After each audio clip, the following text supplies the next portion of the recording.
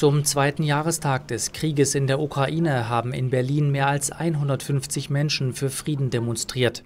Die Teilnehmer forderten einen Waffenstillstand, ein Ende der Waffenexporte und einen Rückzug Russlands. Aufgerufen hatte ein Bündnis von verschiedenen Friedensorganisationen. Unter den Rednern war auch die frühere Ratsvorsitzende der evangelischen Kirche, Margot Käßmann.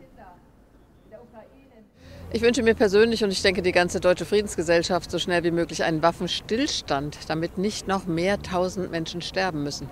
Und das kann durch massiven Einfluss auf Russland, den Kriegsverbrecher, ganz klar möglich sein, etwa über China und andere mehr. Oder wie Heribert Brandl, der Journalist, mal sagte, Verhandlungen können auch herbeiverhandelt werden. Ich bin für Frieden.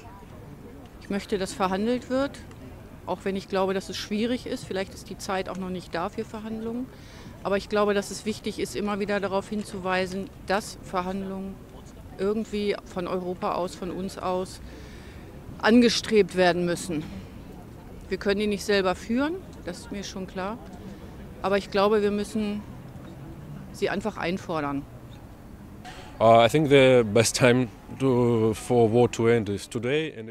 Ich glaube, der beste Zeitpunkt, um einen Krieg zu beenden, ist heute.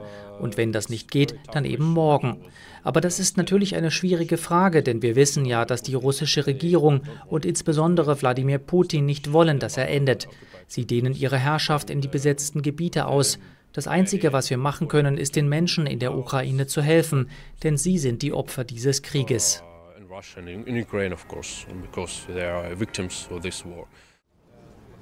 Die Teilnehmer liefen mit Kerzen vom Reichstag zur russischen Botschaft. Dort fand eine Abschlusskundgebung statt. Die Organisatoren hatten in Berlin eigentlich mit etwa 600 Teilnehmern gerechnet.